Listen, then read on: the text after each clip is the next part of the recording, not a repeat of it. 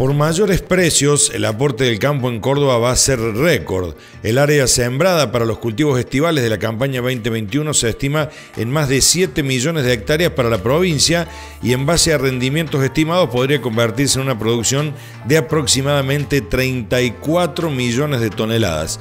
El valor bruto de la producción, incluyendo el trigo, se proyecta en unos 14.100 millones de dólares, un 48% por encima de la campaña previa por otro lado, el ingreso bruto de la producción se espera que alcance un monto de 9.080 millones de dólares.